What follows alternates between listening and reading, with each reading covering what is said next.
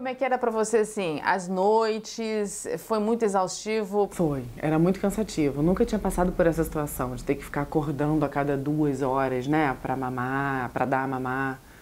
É, ficava muito cansada. Eu lembro que eu acordava de manhã e, tipo, cara, o olho não abria, parecia areia, né, assim. Mas eu fazia questão de dar. Nunca deixei mãe, sogra, babá, ninguém pegar.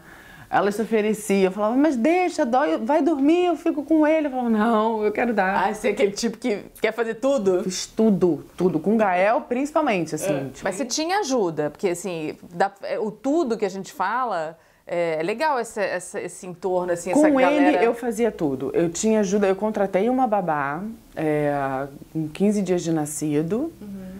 que me ajudava a lavar roupa, passar roupa, manter as coisas organizadas, esterilizar o que precisava, uhum. enfim. Você ficava com ele? Com ele, era eu. Mas de e madrugada? o Thiago dava os banhos. Ah, tá. Até o quinto mês eu não dei nenhum banho no Gael. O Thiago, Thiago dava todos os banhos? Todos Ai, os banhos. delícia. Com cinco meses, teve um dia que ele gravou até tarde, ligou e falou assim, eu não vou conseguir chegar a tempo do banho. Eu falei, vou dar um banho, meu filho!